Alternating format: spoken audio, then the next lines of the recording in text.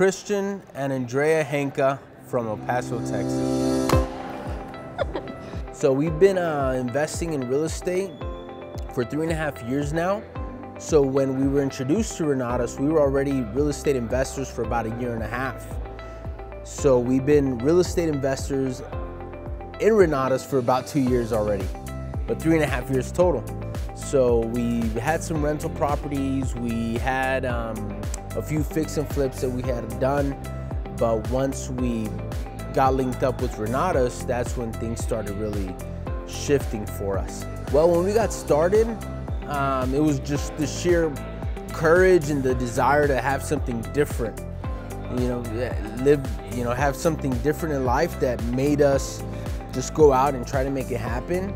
So what came along with that was a ton of mistakes because many, many months we didn't have any income. We had more expenses than income. We had about 12 rentals at the time and there was, there was no sight of making a profit anywhere near. Um, and so once we started taking the education, we learned a little bit about private money and how to raise private money.